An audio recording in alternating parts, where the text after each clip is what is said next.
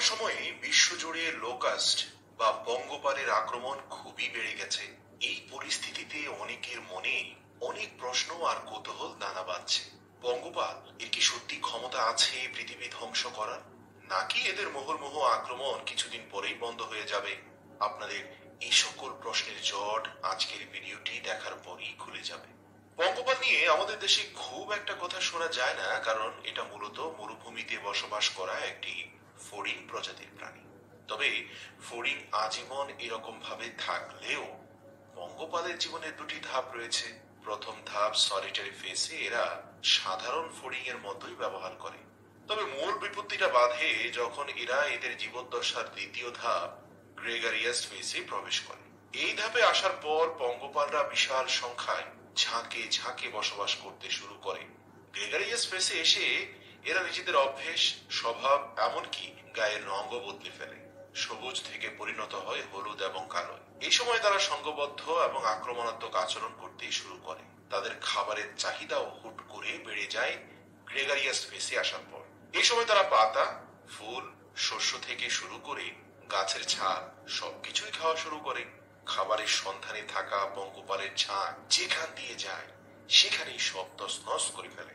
এক সমীক্ষায় দেখা গেছে পঙ্গপালের ঝাঁক একদিনে পঁয়ত্রিশ হাজার মানুষের সমপরিমাণ খাবার খেতে পারে।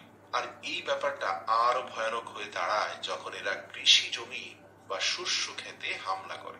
মুহূর্তে পুরো ক্ষেতের ফসল এরা সাবাড় করে ফেলে। আরেকটি গবেষণায় বেরিয়ে এসেছে পঙ্গপালের ঝাঁক একদিনে একশত পঞ্চাশ কিলোমিটার পর্যন্ত ভ্রমণ করতে পারে। তাও আবার ঘণ্টা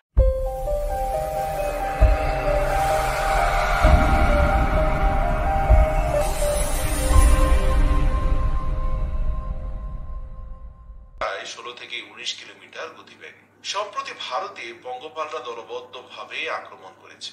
এর মতো ভয়াবহ আক্রমণ ভারতে উনিশশো তিরানব্বই সালের পর কখনোই হতে দেখা যায়নি। গবেষকদের মতে, হঠাৎ করে পঙ্গপালের উপদ্রব বেড়ে যাওয়ার কারণ পরিবর্তন আমরা সবাই জানি আমাদের পৃথিবী গ্লোবাল ওয়ার্মিং বা বৈশ্বিক উষ্ণায়নের মাঝেই যাচ্ছে। ভারত মহাসাগরে এই বৈশ্বিক উষ্ণায়ন বিরূপ প্রভাব ফেলেছে। এই কারণেই এর আশপাশের এলাকাগুলোই ঘন ঘন বৃষ্টিপাত এবং ঘূর্ণিঝড় হচ্ছে। আর গত ডিসেম্বরে? ডিসেম্বরে তো আফ্রিকার কিছু কিছু অংশে বন্যাও হয়েছে।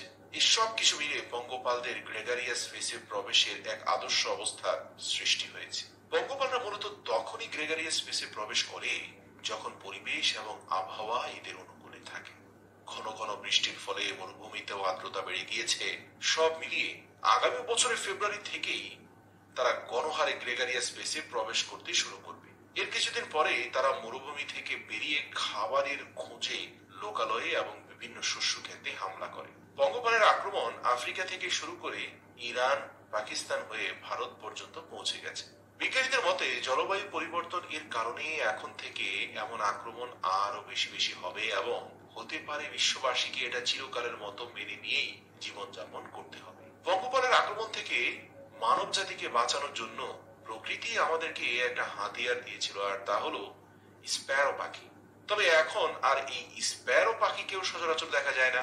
মোবাইল থেকে নির্গত রেডিয়েশনের কারণে এই পাখি আজ বিলুপ্ত স্প্যারো পাখিকে বলা হতো পঙ্গপালের জম এই পাখি আগের মতো প্রকৃতিতে থাকলে পঙ্গপালের আক্রমণ বন্ধ করা খুব সহজ হতো।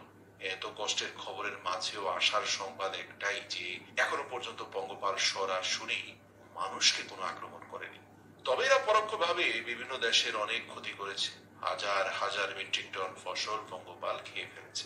ফলস্বরূপ ক্ষতিগ্রস্ত হয়েছে বিভিন্ন দেশের অর্থনীতি। বৈশ্বিক উষ্ণায়নের ফলে সৃষ্ট হাজারো সমস্যার একটি হলো এই পঙ্গপাল এখন, যদি আমরা এটি মোকাবেলায় কাজ শুরু না করি, ভবিষ্যতে এমন আরও বহু ভয়াবহ সমস্যার উদয় হবে, তাই এখনই সময় রিসাইকেল, রিউজ অ্যান্ড রিডিউস এই তিন আর কে এক করে নিজেদের মুখস্থ করে নিতে হবে। আপন করে নিতে হবে এই তিনটি শব্দকে। রিসাইকেল, রিউজ অ্যান্ড রিডিউস তাহলে হয়তো আমরা আসন্ন ভবিষ্যতে এমন গুরুতর সমস্যাগুলো থেকে নিজেদের বাঁচাতে পারব। প্রিয় দর্শক রিসাইকেল মানে হচ্ছে যে কোনো ব্যবহার্য পুরনো পণ্য রিসাইকেল বা পুনর্ব্যবহারযোগ্য করে ভিন্ন কিছুতে রূপান্তর করা।